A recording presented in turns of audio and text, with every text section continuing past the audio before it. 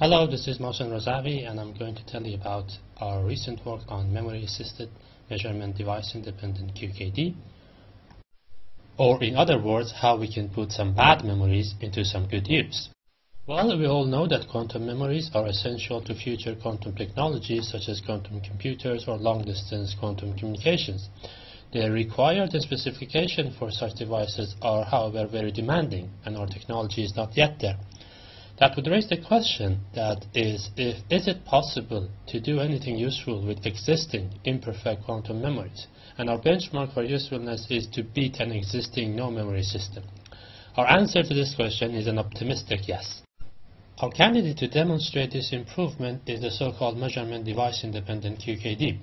MDI QKD has been shown to be resilient to detector attacks and also suitable for future quantum classical networks.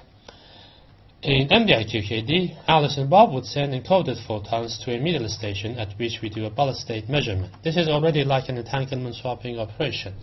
In terms of key rate, however, both these photons will survive the path loss, which implies that the, that the key rate would scale with the loss in the entire channel. In our scheme, the way that we want to improve that rate versus distance behavior is by adding quantum memory modules before the, before the Bell state measurement. In that case, we only do the Bell state measurement once we make sure that the photons sent by Alice and Bob have both received and stored in the quantum memory. We would get the same improvement as in quantum repeaters, in which case the key rate would scale with loss only over half of the channel. One should however ask, uh, uh, what's the difference with quantum repeaters? In quantum repeaters, because of the imperfections in quantum memories, in particular the decoherence effect, we can't go to long distances. What would be different in our scheme? The main difference would be at the rate at which we can run our protocol as compared to the quantum repeater protocol. In a quantum repeater scenario, the rate at which we can distribute entanglement between adjacent nodes is restricted by the transmission delay between these two nodes.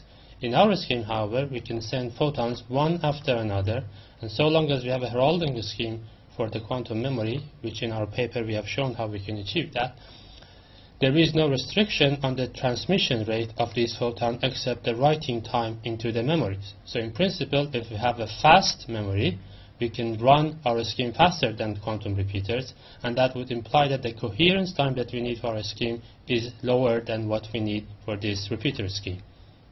So in our paper, we have done a thorough key rate analysis in which we consider all sorts of non-idealities which could exist in a realistic experimental setup and then we have tested our result using some reported uh, experimental values. In particular, we have looked at this particular paper in which they report a very short reading writing time of 300 picoseconds.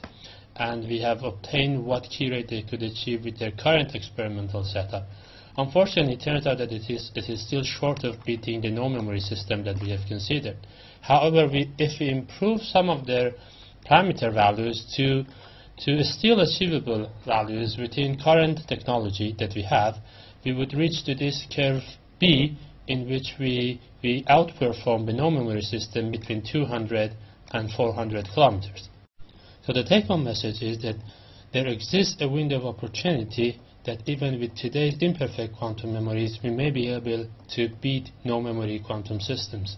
And that, we believe, is the first step toward building long-distance quantum repeater systems. Thank you and bye.